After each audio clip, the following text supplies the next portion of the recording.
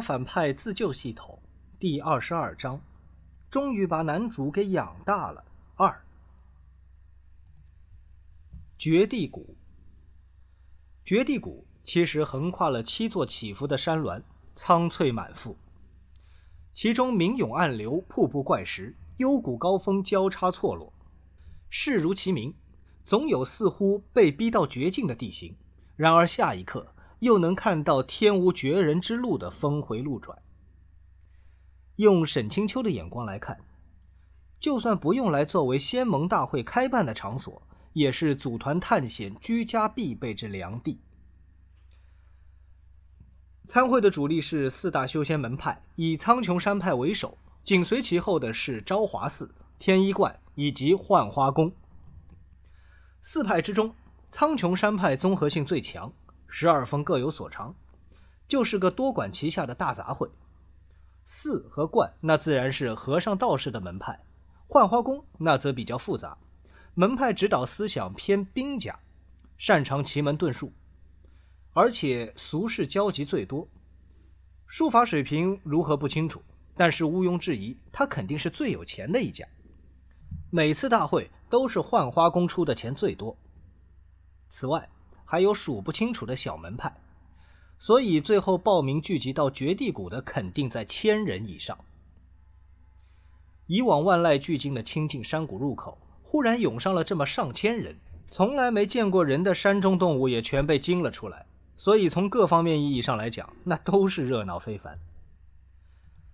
参会的新秀们在安排下整齐地列成了阵列，包围住山谷前一方巨大的天然石台。山谷入口四面早已搭起了高台，是供不参与大会的修士们观战所用。代表着各派的彩旗在楼台上招展飘摇。诸位掌门的特等位置在最高层，苍穹山派一向以岳清源为首，在高台就坐。沈清秋落座之后，紧靠着他的一名气度从容的鹤发老者与苍穹山派的众人打过招呼，也对他颔首道。沈仙师，这是浣花宫的老公主，也就是骆宾和生母的师傅。沈清秋抱着一种围观皇亲国戚的心态回了个礼。不久之后，一名浣花宫的门人走下了石台，毕竟出钱最多的嘛，让大股东包揽司仪的职责也没有什么不妥。台下的千人渐渐肃静，聚精会神地听他宣读大会事宜。此人功底颇为深厚，气息充沛绵长，整个谷口，包括高高的楼台之上，都能把他的声音听得一清二楚。大会为期七天，在诸位进入峡谷之后，将撑起巨大结界，罩住整个绝地谷。七天之内，所有进入谷地的参与者与外界单方面隔绝联系，他们无法得知外界的状况。而观战者们却可以通过自由翱翔于山谷上空的铃音，悉知场内的情况。谷中已被安置超过百种的魔物，将近五千的总数。每拿下一只魔物，就能从他们的身上得到一粒念珠。级别不同的魔物，念珠里蕴含的灵力也大有差别。你们每个人手腕上可都穿有着金丝。台下的众人立刻齐齐举起手腕，展示万间的金丝，看起来颇为壮观。司仪继续道：“取得念珠之后，将它穿在金丝上，诸位的成绩就会在此处的排行榜上自动排序。排行榜位于高台对面，虽说有八张之多，不过文无第一，武无第二，所有人关注的，自然只有第一张红榜上的前一百名。”甚至可能只有前十名。所谓的文无第一，武无第二，就是这个道理。最后，那名幻花宫门人严厉的强调：严禁门派之间私自殴斗、抢夺念珠。一旦发现私底下有互殴，以卑鄙手段抢夺他人念珠者，立刻取消参与资格，三界之内，并在三界之内不得参会。三界。也就是十二年。这些新秀当中有许多年轻，没有见过世面，可也有不少的老油条，就怕那些摸爬滚打的无赖混混鱼龙混杂。如果不禁止殴斗，恐怕整个大会会变得无比混乱，甚至闹出人命。因此，这个规定很有必要。这时，近旁有几位掌门的女眷窃窃私语：“嘿，那是哪一派的弟子啊？生得好生俊朗。”“是啊，是啊，那身白衣真衬他，不比公仪师兄差呢。”“公仪师兄灵力高强，怎么能拿他来比？”沈清秋一眼就看出来。他们所谈论的人，正是人群当中一身白衣、轻易出尘的骆冰河。实际上，不光他们在偷偷的谈论，连石台下参与的弟子当中，都有不少少女在悄悄注目骆冰河，脸颊上片片的绯红。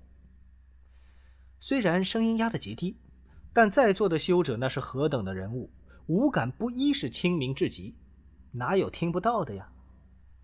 这几名女眷年纪太小，这才没有留神，被人听去了私房话。还好大家都很给面子，个个都装的没听到，目不斜视。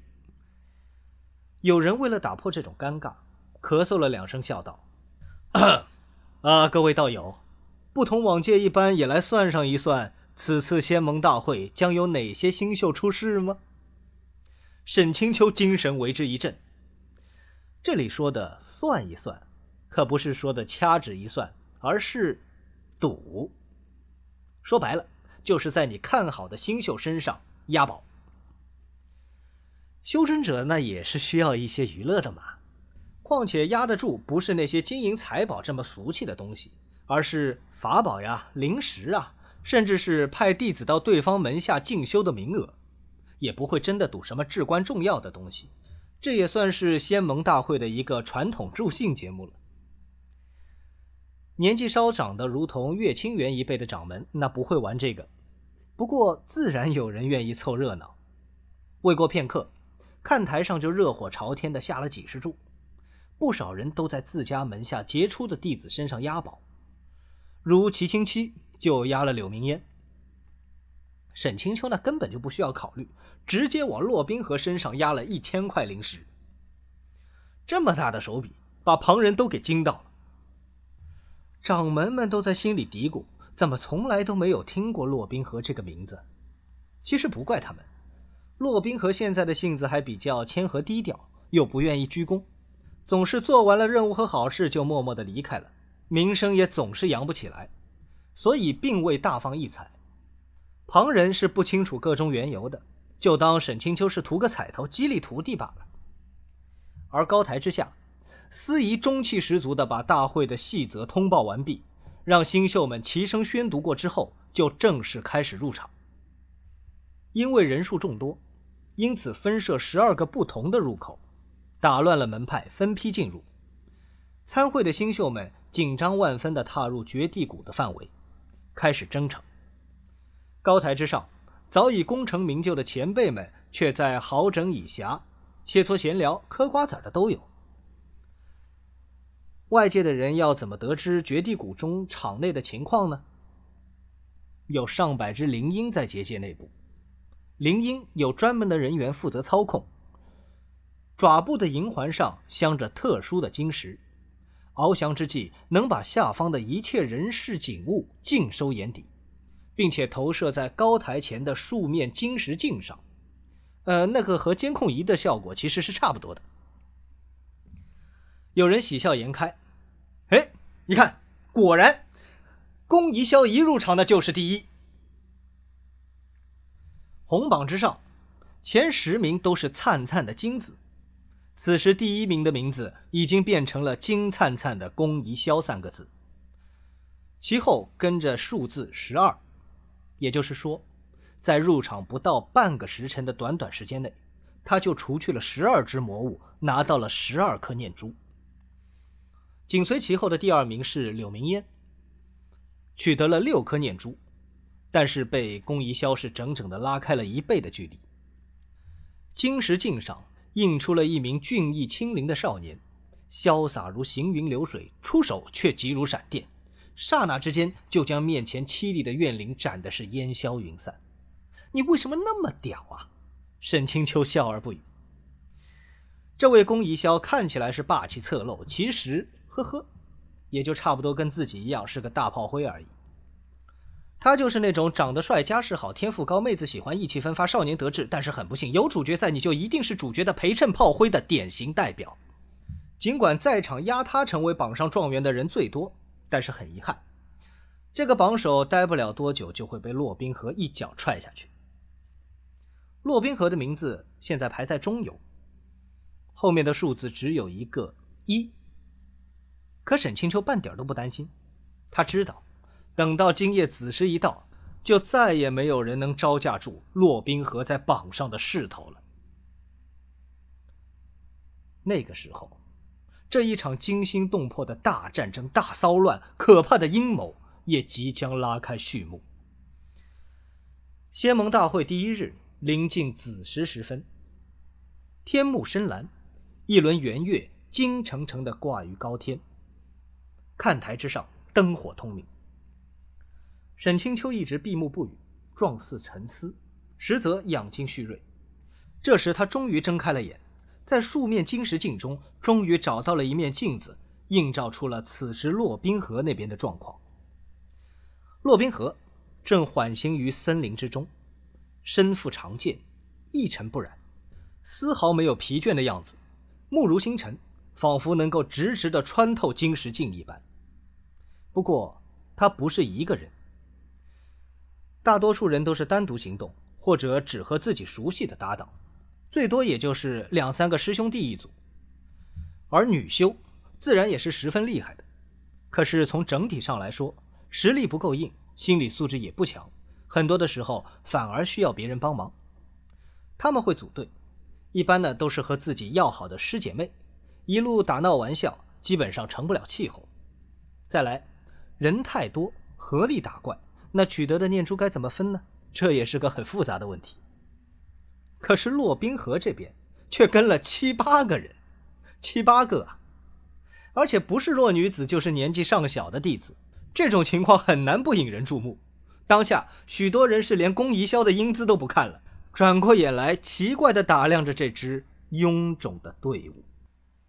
反派自救系统第二十三章：反派如此多娇二。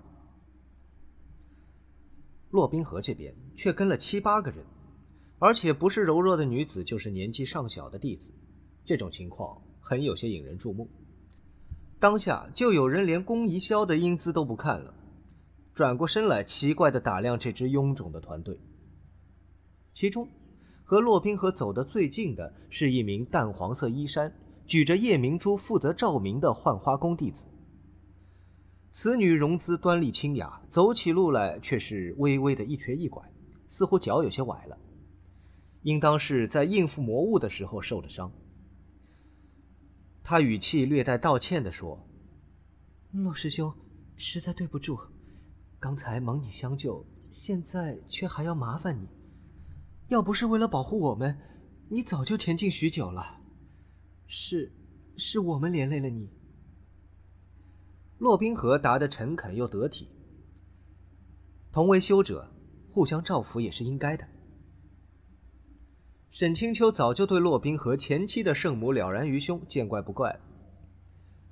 他一边打怪，一边还要带着这些弱兵妇孺们走，所以才导致一整天排名都不高。否则以他现在的实力，和宫一笑一争高下，完全没有压力。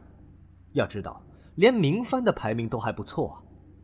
但没关系，骆宾河有的是后劲。沈清秋完全都没有想到要反省一下，自己这种我徒弟最厉害了，要不是他人太好、太善良、好欺负，你们谁都别想争过他的诡异心态究竟是怎么回事？岳清源笑道：“清秋，你这个小徒弟倒是品行非常好啊。”沈清秋展善而笑，安然受之。无论是读者视角还是师尊的视角。前期骆冰河的白莲花程度都担得起这个评价。齐清七哼道：“哼，即便如此，倒也不像是他教出来的。”旁人也有交口称赞的，不过倒未必有几分真心。品性再好有什么用？仙盟大会讲究的是实力，骆冰河此举在他们眼里未免有些迂腐。坐在沈清秋身边的浣花宫老公主，看着青金石中骆冰河的脸，却微不可察的咦了一声。沈清秋目不斜视，心中却偷乐。骆冰河相貌英俊，颇像生母，老公主必然是看到了这张脸，以为是凑巧相貌相似的晚辈，怀念起了当年自己的得意子弟，微微的叹息。殊不知。骆冰河正是他爱徒的亲生孩儿，而另一边，绝地谷中，骆宾河的内心已经在思考一个稳妥的办法，摆脱眼下的局面。于道义而言，他不能丢下这些入门尚不久的浣花宫子弟，可是却也不想错过在仙盟大会中优异表现，不想让师尊失望。骆宾河在这边冷静的思考。该如何安顿这一众弱小的弟子？沈清秋却以为他正在跟妹子擦出缠绵的火花。这可是和骆宾河第一个滚床单的妹子呀，秦婉约。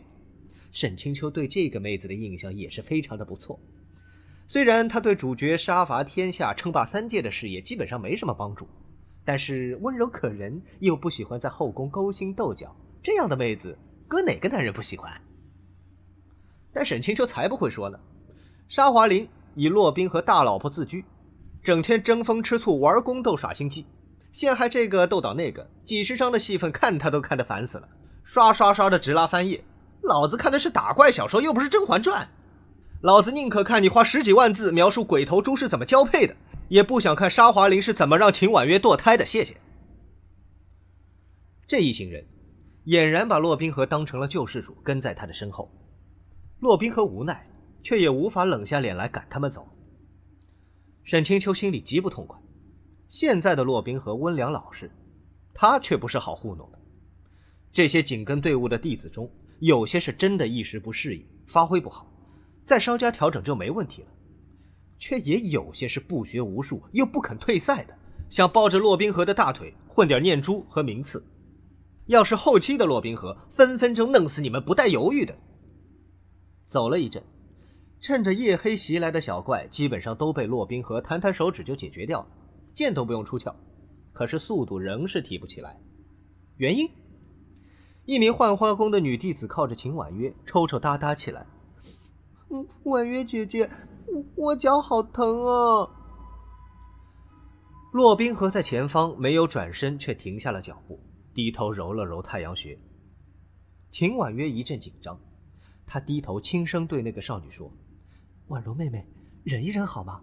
我们必须走快些。”婉柔妹妹嘤嘤道：“可是，可是人家脚真的痛，走不动了，而且走了一天又没有地方沐浴，身上好难受。”队伍里不少没有受过磨练的弟子都连声称是。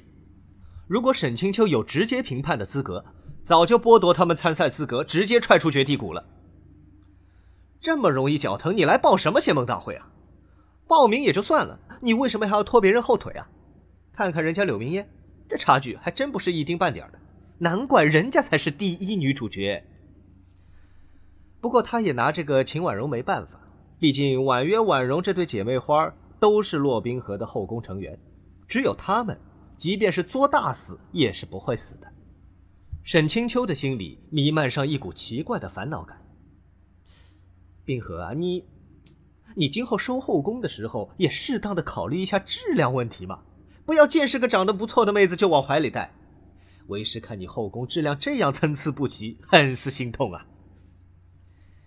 秦婉约又看了一眼洛冰河的背影，悄声道：“妹妹，我们已经给洛师兄添了很多麻烦了。”秦婉容天真烂漫道：“洛师兄人这么好，不会介意的，是不是啊，洛师兄？”骆冰河终于转过了身，脸上仍是微微笑着，俊美无比。但他没有说话，不知道是为了什么。秦婉约却暗暗的打了个寒颤，而婉容是个棉花脑子，见他笑就当他是同意了。啦啦啦，一阵风一般的刮到了附近一旁的小溪边。来了，沈清秋眼神一紧，骆宾河一愣，联系到刚才的话，以为他要沐浴。还好这师妹没有奇葩到这个程度，只是甩掉了鞋袜，把脚丫子踹进了溪水里。这可是上游啊，老大，万一人家下游有人要喝水呢？沈清秋默默在心里给下游的弟子点了个蜡。他这么一带头，旁边也有几个人好样不学的，一群人居然就这么开始纷纷嬉笑打闹了起来。骆宾河见状无奈至极，又不好靠近，只得远远的道：“夜间溪水不安全，诸位师弟师妹最好还是尽快上来。”沈清秋有点奇怪，原作之中骆宾河应该没有站这么远呐。他记得没错的话，当时骆宾河应该是出于担心，或者说是出于向天打飞机续剧想要描写萨比斯的私心，一起来到了小溪边，然后欣赏起了一场香艳的泡脚大戏。我勒个去，杠杠的足控福利啊！那边几个人却是欢声笑语，都浪到了这边来。没事的，洛师兄你也来呀！连精进石前的掌门们都无语了。就算看过了原作，打过了预防针，可当这一幕真的呈现在眼前时，沈清秋也是醉了。他面无表情，心中质疑问：“陆冰河，你还不过去吗？你再不过去，就赶不上剧情了。”喂！秦婉约小心翼翼的向骆冰河道歉：“骆师兄，对不起，师妹们他们是第一次参加仙盟大会，所以……”他知道。自家妹妹举止奇葩，咬着嘴唇，当真是楚楚可怜。骆冰河没有答话，忽然从小溪旁传来一阵刺耳的尖叫：“我终于来了！”少年们不要忘记，狂傲仙魔图的几大重要爽点之一就是作死的一定会死。哈哈哈哈！只是这回，沈清秋万万没有想到，身为主角后宫团的婉容妹子，居然也把自己给作死了。听到尖叫声，骆宾河脸色一变，抛下花容失色的秦婉月，抢到溪边。同时，金石镜前的掌门们也一脸肃然。骆宾河横剑在前，沉声问道：“怎么回事？”溪中原本有五六个弟子在玉足戏水，可这时却不见了两个，其中就包括秦婉容。沈清秋心道：“你看看，叫你早点去吧。现在好了，你的一个老婆就这么没了，你个败家子儿啊！”这个秦氏姐妹花凑不齐了，以后你的三批大戏怎么办呢？一名弟子尖叫道：“刚才不知道怎么回事，忽然水底一黑，师姐他们不知道被什么东西就卷到水里去了。”骆宾河一手几个，轻飘飘的就把还愣在小溪里的人给拉了上来。先撤离危险区域再说。可是他刚伸手去拉最后一个人时，那人仿佛脚底一滑，瞬间栽倒，溪水就没过了头顶，就这么。眼睁睁的消失在了骆宾河的眼前。与此同时，溪水中一阵黑气翻腾。沈清秋隔着金石镜定睛一看，那是无数如女子黑发一般顺滑的黑丝，黑丝当中渗出猩红的鲜血，被溪流冲淡，比贞子的头发还要浓密恶心。岳清源已经惊呼出声：“女怨蝉！”而绝地谷中，骆宾河也迅速判断出了溪水中是什么怪物，剑气入水，喝道：“远离水边！这是魔界的女怨蝉。”那大片大片头发丝一样的魔物在水底翻搅了一阵，忽然吃饱了打嗝一般，咕噜噜的从黑丝中间吐出了几条东西。三具已被吸干了血肉、湿淋淋的皮包骨的尸体。尸体上毛孔异常粗大，那是因为还有不少的头发丝附在皮肤之上，插入毛孔之中，如饥似渴的汲取人身上的血肉与精气。无孔不入，这是女怨蝉最可怕的特征之一。溪水边的弟子们被这可怕的景象吓坏了，林中一片哭喊尖叫，扑着躲在了骆宾河身后。秦婉约看见妹妹尸体惨状，险些晕了过去。幸好这妹子很聪明，没有真晕，不然这种兵荒马乱的场面，谁能带着她一起逃跑啊？反派自救系统第二十四章：反派如此多娇三。女怨蝉水陆双生，在水底吸干了三个人后，迫不及待要爬上岸边寻找新的目标。骆宾河可没那么好对付，他神色凛冽，打了个响指，指尖燃起了一簇火焰，以灵气为催化酶，弹向鬼鬼祟祟的魔物。一沾到头发丝，火势便迅速窜高，形成了一团巨焰，逼得黑色的头发丝迅速退回水中，不敢上岸。整套动作一气呵成，威力十足，不留分毫余地。沈清秋内心满意的举牌，骆宾河十分。骆宾河捡起因秦婉约慌乱而落地的夜明珠，高高的举起，仿佛一盏明灯，定人心神，喝道：“诸位师弟师妹，不要走散，聚集在一起行动。”随后取出仙盟大会人手一支的标准配备求救烟花，向天空放去。求救烟花是给弟子们在遇到无法对付的魔物时所准备的求援物。一般仙盟大会不会投放过于危险的魔物，而且用了三次之后就属于自动弃权。所以历届的仙盟大会不到万不得已，基本上是没人真的会用它。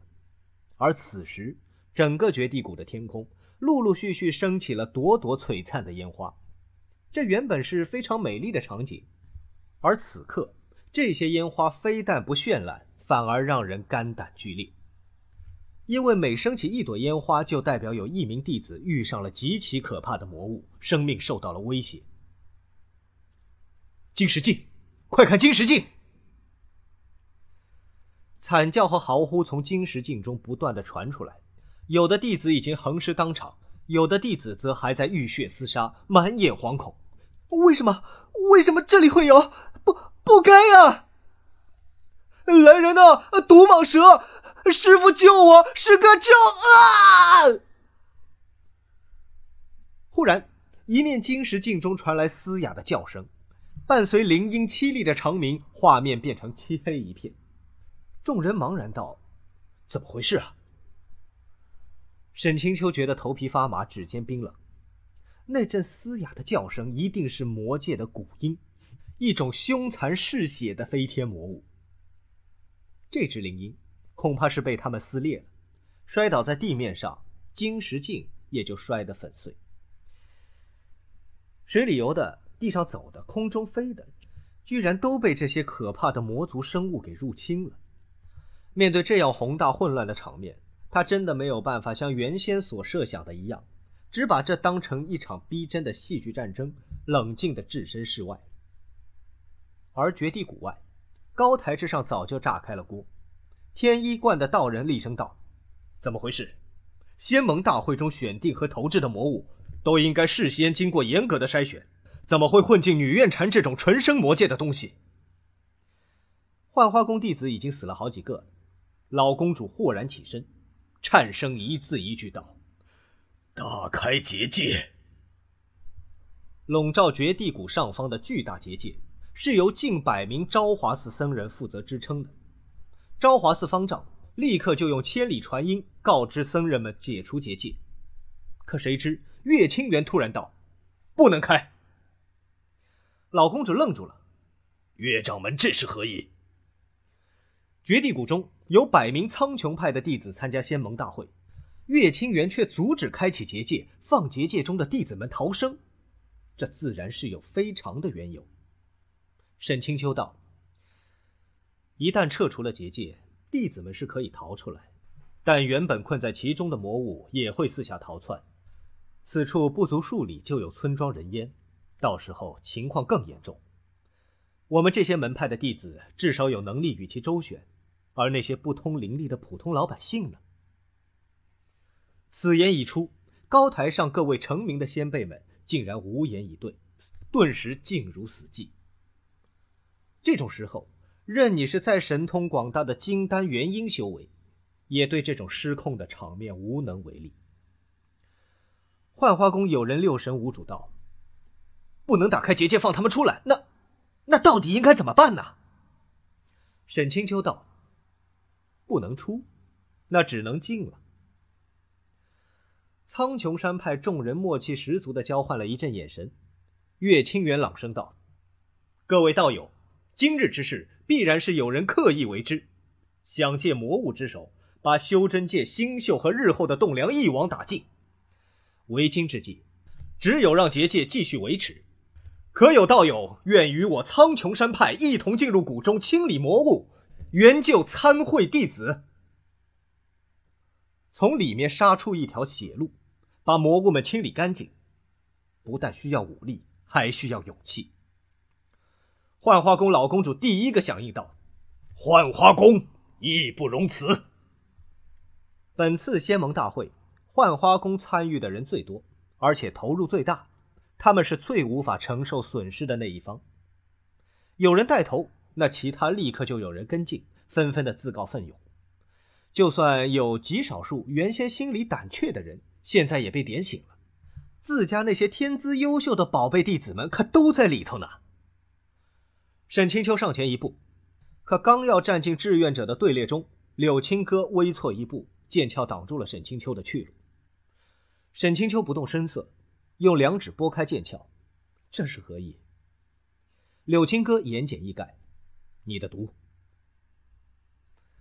岳清源也只用他们几个人能听到的声音说：“不错，青秋，你莫不是忘了，你身上还有无可解的余毒未清，清净峰一脉的弟子安危就交给我们吧。”后面还有一句他没有说出来：“万一禁蛊之后忽然发作，灵气滞涩，被包围在了重重魔物之中，那可真是叫天天不应，叫地地不灵啊！”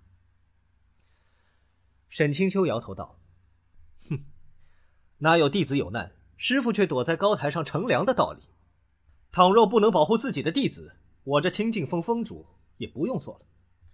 而且，他还是可以触发关键剧情的重要人物，不到场戏没法演呐。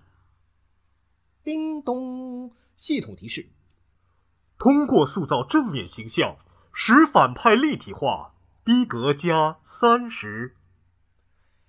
岳清源等人劝阻无效，只得无奈道。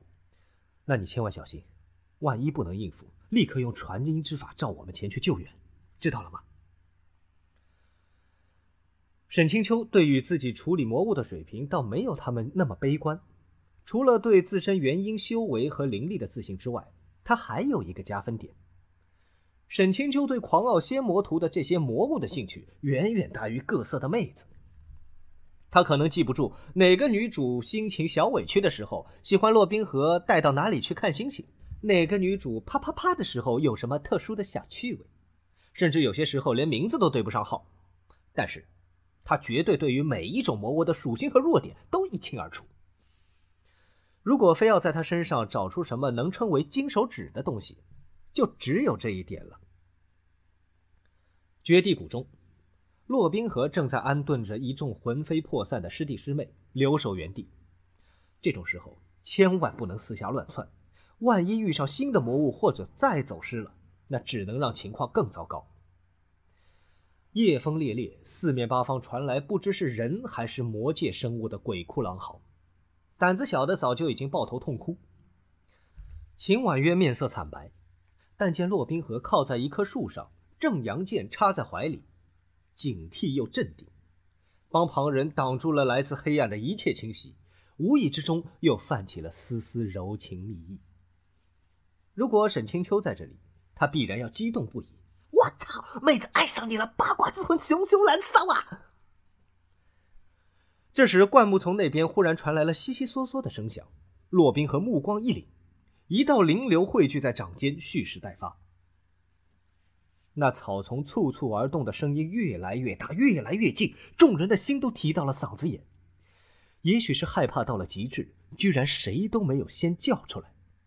突然，咚的一声，像是有人倒地的声音。随后，一颗圆滚滚的东西滴溜溜的滚出了草丛。那是一颗人的头颅。头颅双目紧闭，满脸鲜血，头发蓬乱的仿佛鸡窝。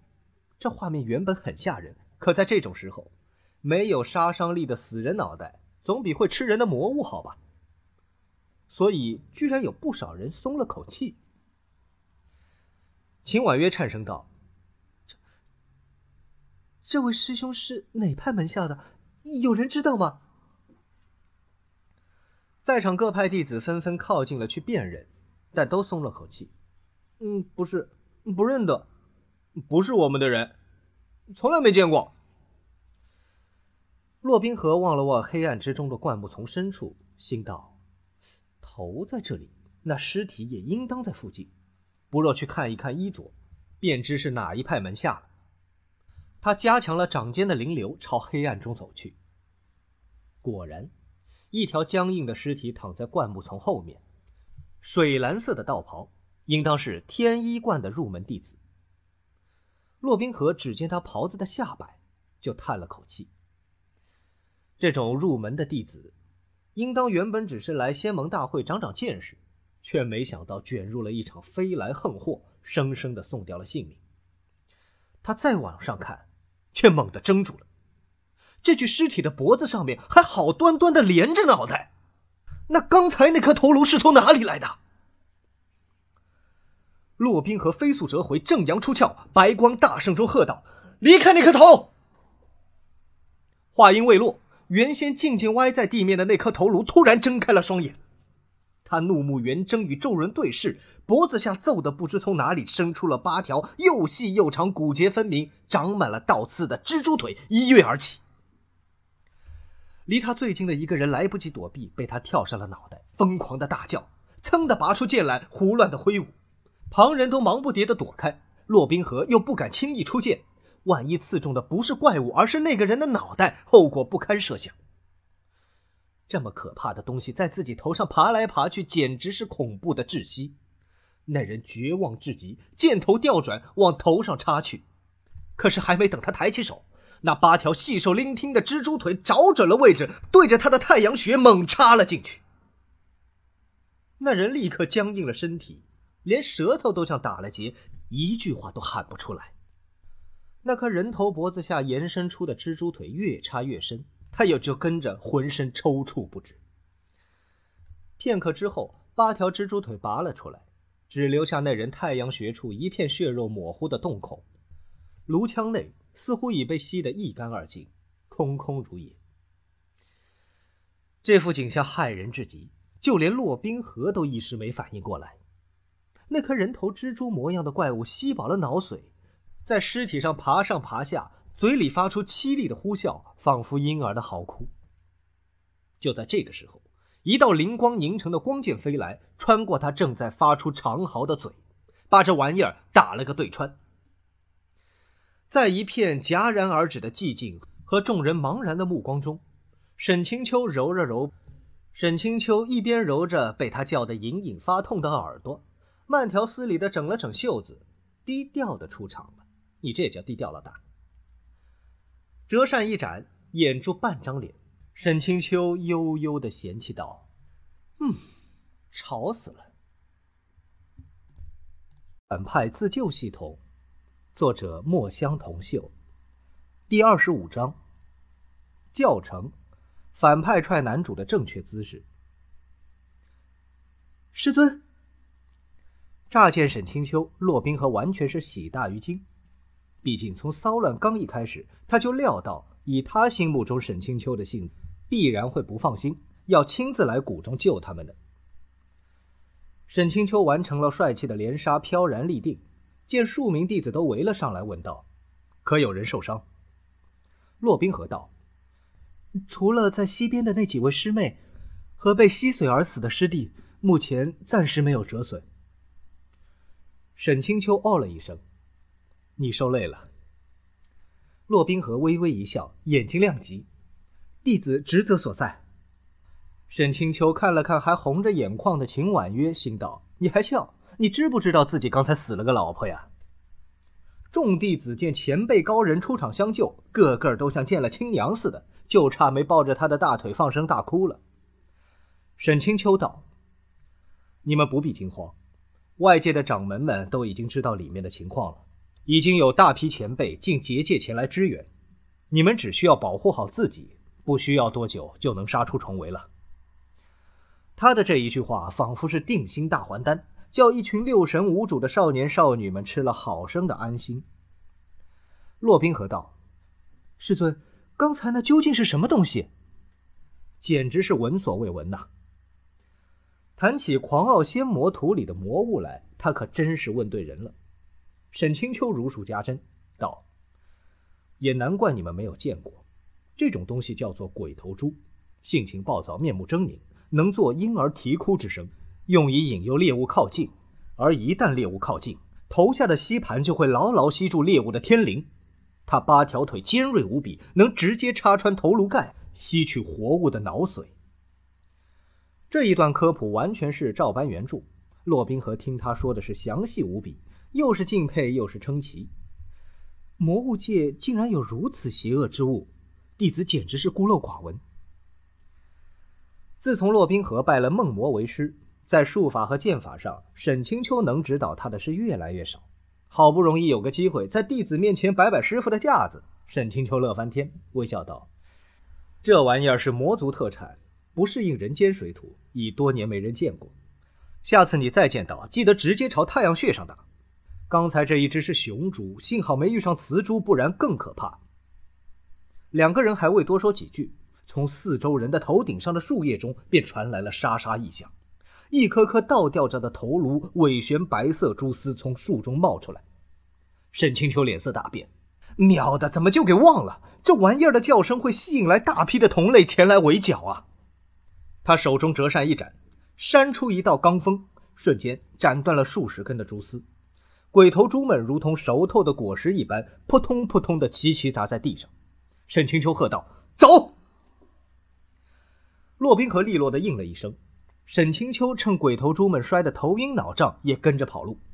一个在前开路，一个在后断后，中间夹杂着臃肿的队伍，两端却杀的是腥风血雨。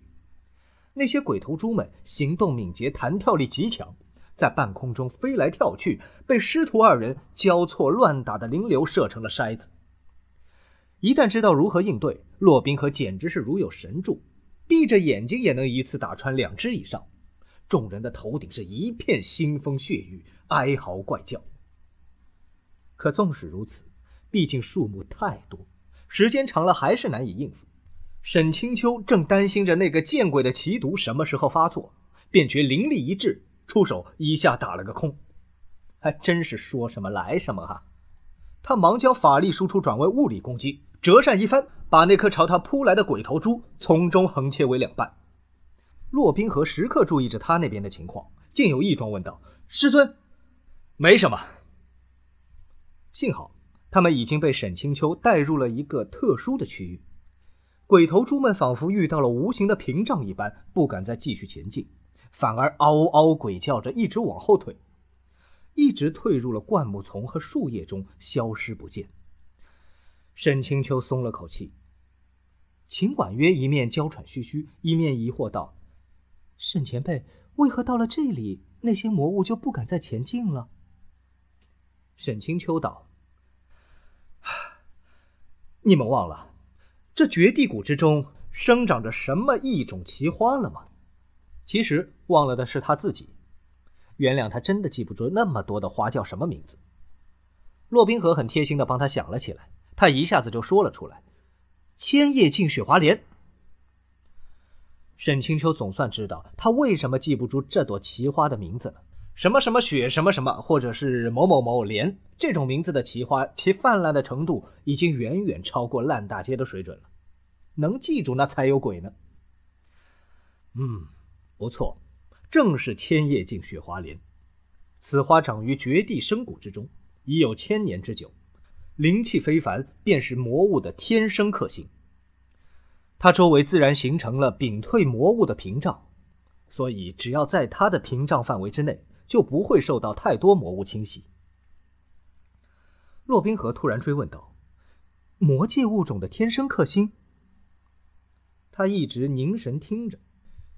沈清秋见他目光中仿佛燃起了一簇星火，异样的色彩隐隐闪动，心下奇怪。不错，骆宾河问道：“那师尊，这株千叶镜雪华莲能否解除魔族奇毒？”沈清秋悚然，这架势，骆宾河该不会是想给他摘奇花解毒吧？哎，等一下，原作里你为之摘花的妹子秦婉约可就坐在旁边看着呢。你现在当着他的面要给另一个还是大男人摘花，哎，你给你老婆点面子行不行啊？沈清秋立刻道：“不用理会那些，现下先应付过眼前的危机吧。”骆宾河却不依不挠：“请师尊告诉弟子，那东西没用。不试上一试，师尊怎么知道呢？弟子知道师尊不想让弟子冒险，可是如果不冒这个险，弟子永远也不能心安。哎呀，这个真不是啊！你为什么非要在这个节骨眼上这么孝顺我老人家嘞？”老子总不能告诉你说要解毒，除非跟你啪啪啪才行吧？沈清秋跟他说不清楚，含了含脸。为师是不是平时太过纵容？这个时候也是能任性的。简单粗暴点来说，就是 shut up。说真的，这几年来他绝对没对这个徒弟说过稍微重一点儿的话。是以骆宾和听了以后，先是一怔，果然。听话，乖乖闭嘴。可是依然目光倔强，正阳剑也不肯收回鞘中，明显不是退让的意思。正当两人僵持不下的时候，一旁的莽林中草叶窜动，钻出来一个人，身后还带着一众狼狈不堪、经过一番浴血奋战的弟子。沈清秋警觉地把目光移开，一跟他打了个照面，就仿佛觉得天降巨锤砸在自己的太阳穴上。其实这个人相貌也算是周正俊朗，那颜值也不算低，只是言行举止之间一股猥琐之气挥之不去。他见到沈清秋和骆宾河，笑了一下，把光滑流转的佩剑插回剑鞘。哎呀，哎，原来是沈师兄啊！既然和你会合，那我就放心了。沈清秋呵呵，放心，放心个屁呀！有你在才不放心，好不好啊？面前的这个人就是这场大骚乱的罪魁祸首。尚清华，尚清华，这个人在沈清秋的心里被吐槽过。尚清华，呵呵，我还考北大的。此人乃是安定峰峰主，同时他也有另一重身份——仙盟大会获释的内鬼，魔界数年前埋下的一颗棋子。原本尚清华只是安定峰一脉之下籍籍无名的小弟子，被魔界要人抓了，逼他做卧底。啊，不，没怎么逼。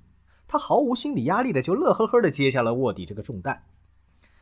有了魔族作为暗中的后盾，此后的上清华那是顺风顺水，一路青云直上，最后居然做到了安定峰峰主的位置。可是他还不满足，为什么呢？因为安定峰。一听这个名字，那就知道不是什么有上进心的地方。这座山峰的传统与特长跟他的名字完全是一个画风，后勤工作。理所当然的，这个峰主也就成了哪儿需要哪儿搬砖去的民工工头了。哦，是峰主哎，哦，还有威风吗？还有气派吗？还有酷霸狂拽屌吗？做这样的峰主还有尊严吗？还不如别派一个天资过人的小弟威风呢。于是，尚清华义无反顾地成了魔界走狗，以帮助魔界称霸人界为己任，干尽坏事。沈清秋冷傲的一抬下巴，尚师弟。你来时可在附近见到大型魔物？尚清华一愣，大型魔物这个，嗯，倒是没有。沈清秋心中咯噔一声，没有吗？这里的大型魔物也是剧情的关键道具之一。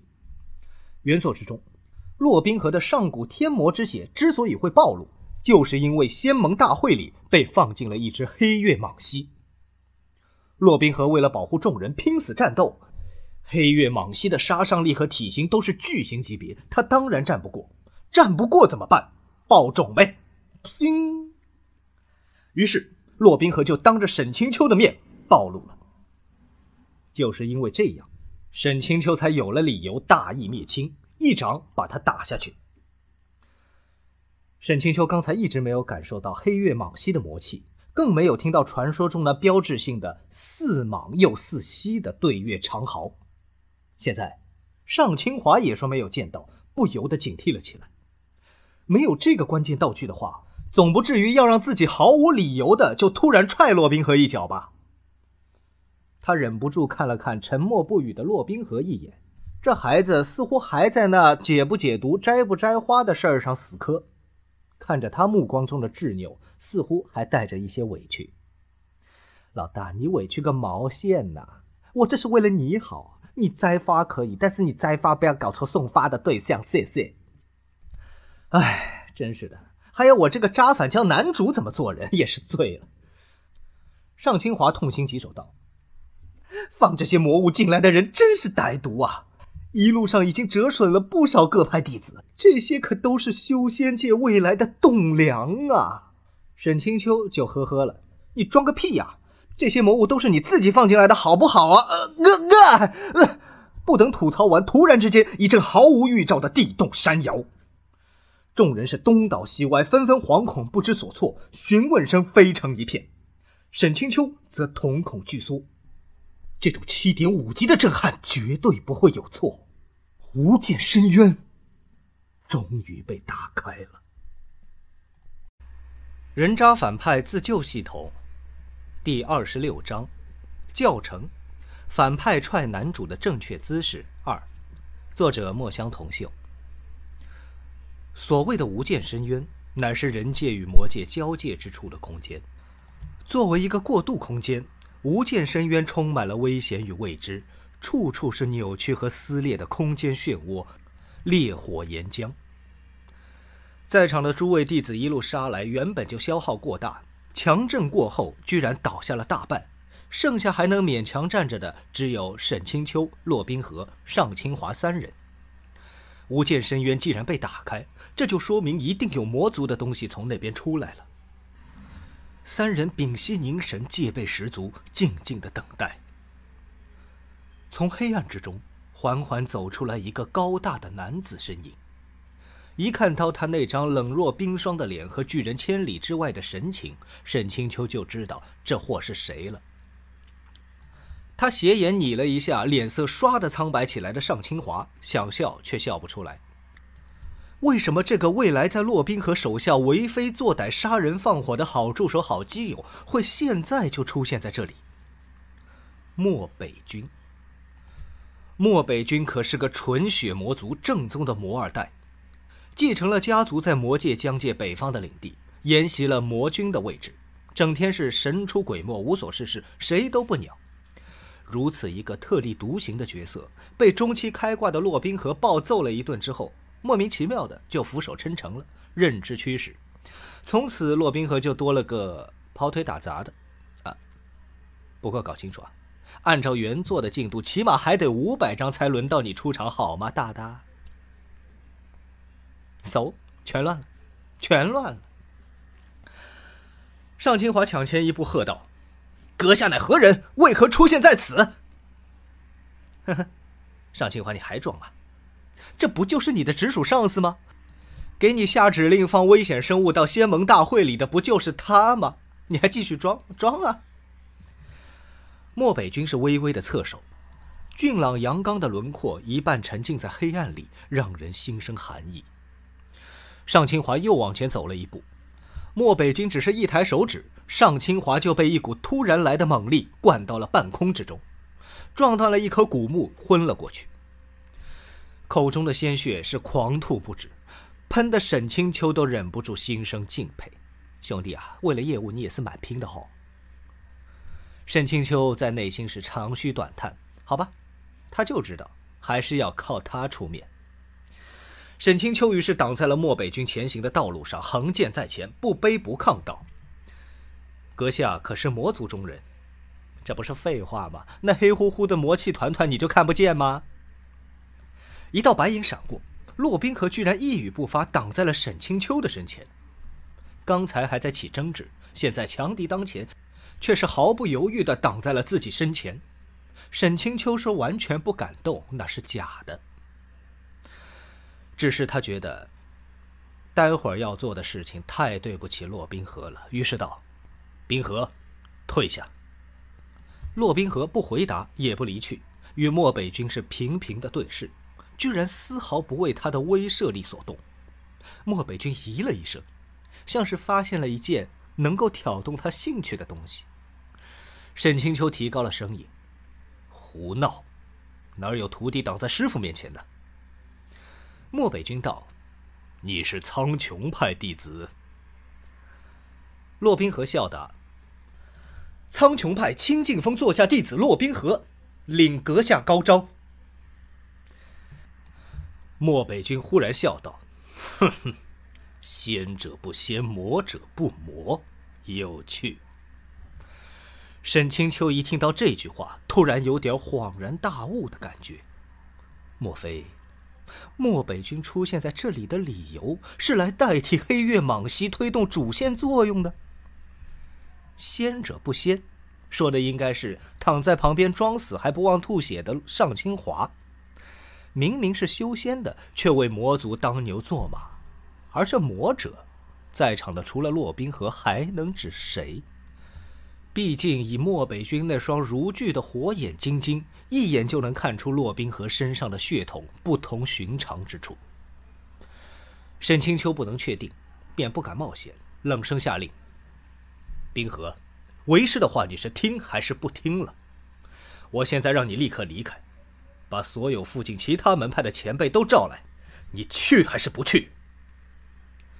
骆冰河目不转睛地盯着身份不明的魔族男子道：“师尊，他不会让我们中间任何一个人走的，倒不如拼尽全力与之一战。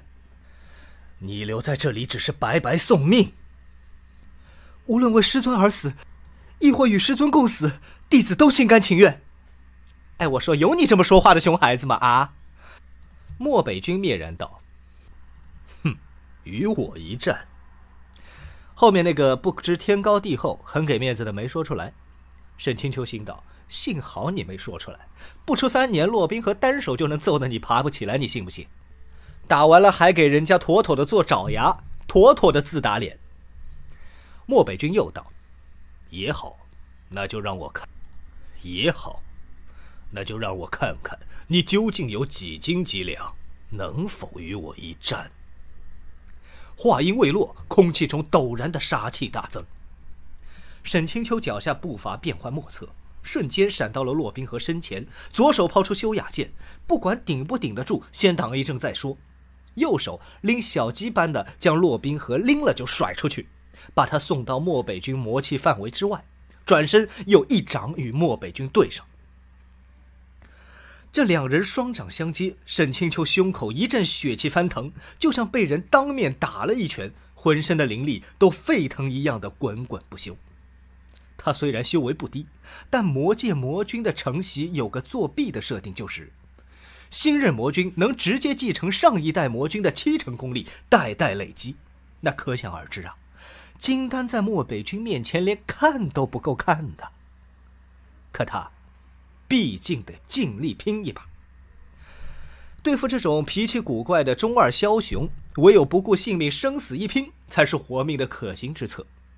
根据沈清秋看各种小说十几年的经验，这类型的人呐，都会对于血战到底不服软的硬骨头留几分尊敬，而对于软脚虾、胆小鬼，那是绝对不可能留情的。骆宾河被沈清秋送出了一段距离之后，自行折回，正阳剑出鞘。漠北军撒出一手，在迎面而来的炫白剑芒中一弹，剑身便承受不住海量灌入的魔息，白光炸裂，当场就断成了数截。漠北军单掌迎击沈清秋双掌，却还占着压倒性的上风，觉得没庆味了，索性发力震开了沈清秋，道：“嗯，资质极差，基础心法死板，滚！”如果原装货听了这话，必定是吐血三升啊！沈清秋的资质在人界不能说是空前绝后的奇才，起码也能说是千里挑一的人中龙凤。苍穹山派的基础心法，那不叫死板，那叫正统，好不好？到了漠北军嘴里，那就成了一坨翔了。骆宾和佩剑断裂却不在意。但见沈清秋被掌力震得内脏受损，咬牙吐血往肚子里吞，却眼神陡然的森寒了起来。他周身的气场瞬间变化了。漠北军查到了这种骇人的变化，两眼放射出兴奋而嗜血的冷光。先解决掉你这个碍事的师傅，再来战。空气中突然凭空的出现一支通体纯黑的冰剑。一生二，二生四，四生八，瞬息之间分裂出上百把自成剑阵的冰剑，从四面八方朝中央围着沈清秋射去。这些冰剑普通的防御根本是无法抵消，因为他们是用最纯正的魔气凝结而成。沈清秋现在灵力将近枯竭，两者对上，正如星星之火与滔天巨浪这么悬殊的对比，结果如何不言而喻。剑阵如同雨倾盆而下的刹那，沈清秋心中咆哮。你多大的仇啊！要死也弄个好看点的死法好不好啊？这样一百多把黑乎乎的剑插在人身上，我要被捅成筛子的还能看吗？然而等了良久，也没有感到万箭穿心的痛苦。就在这个时候，如果不是漠北军忽然抽风撤回了剑阵，那只有一个人，一种可能，能挡住这波杀气冲天的攻击。沈清秋面无表情地睁开了眼睛，果然，四面八方的上空密密麻麻的剑阵被粉碎了，粉碎得非常彻底，仿佛是消失得无影无踪。夜空之中，只有漫天黑色的冰晶反射着月光，星星点点地落下。那画面，甚至可以用美来形容。然而，站在画面中央。周身和眼神仿佛都有一场暴风雪正在聚集的洛冰河，却只能用可怕来说了。沈清秋一介人渣反派，何德何能，居然能让男主为他报仇，为他挡剑？接下来是一场非人类的战斗。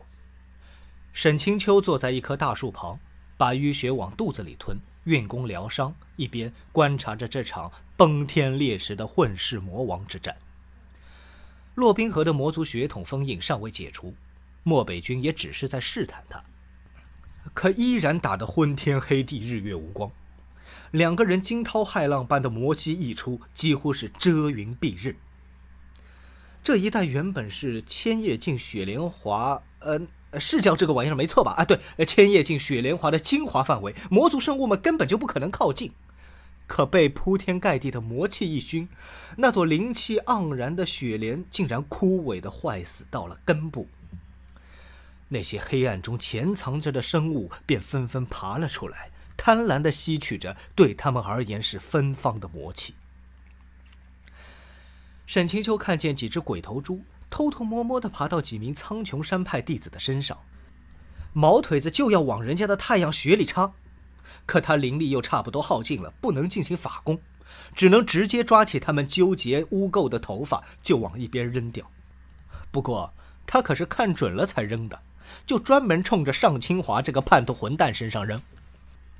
而另一边，漠北军差不多已经试出了洛冰河的底，打算收手给其最后的一击。漠北军手指一弹，送了一道猩红的光流，种入了洛冰河的额中。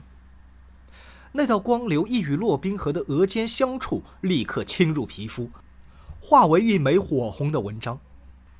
洛冰河是杀昏了头，也不知道那是什么，只觉得头痛欲裂，几乎要跪倒在地，浑身一股翻腾的残暴冲动，却又无力发泄。随手一甩，爆发的魔气如同出膛的炮弹般轰向了漠北军。这一击的威力极其之大，漠北军举手化开，微微诧异，赞许道：“不错。”他也不管现在的洛冰河意识清不清楚，自顾自道：“人界并非你应留之地，何不回归本源呢？”现在沈清秋终于能百分之百确认：是的，漠北军在此出现，就是为了代替黑月蟒蜥的作用。只是比起原作，漠北君做的更彻底。他，他居然直接解开了洛冰河身上压制他魔族血统的封印。